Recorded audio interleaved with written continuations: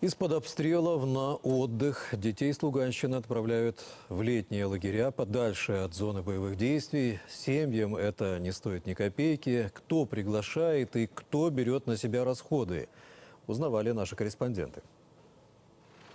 Около 8 утра в Луганскую военно-гражданскую администрацию подъезжают два школьных автобуса. В них ребята из Попаснянского района. Дети устали от обстрелов. Обстреливают.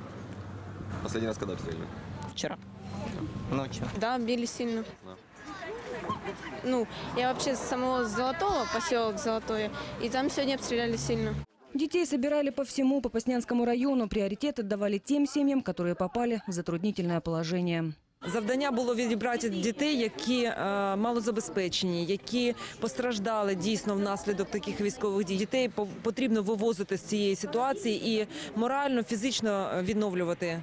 Следующие три недели подростки будут отдыхать в детском лагере вдалеке от зоны боевых действий. Семья Нагорных из Золотого также отправляет старшую дочь подальше от взрывов и залпов. едет отдохнуть. Старшая дочка, меньшая остается дома. Хоть немножко отдохнут от этих бахканий и от переживаний. Детей из зоны боевых действий на отдых пригласила Житомирская областная администрация. Житомирщина за свої кошти, за кошти обласного бюджету було прийнято рішення, що діти, які от сьогодні будуть направлені на Житомирщину, вони будуть відпочивати в таборі Лісовий берег. Дорога впереди дальняя. Скільки годин приблизно забере переїзд? 12 часов с остановками. По трассе на заправках. Туалеты, чтобы были нормальные. Ну, мы знаем, у нас не первый раз. Я сюда уже год езжу.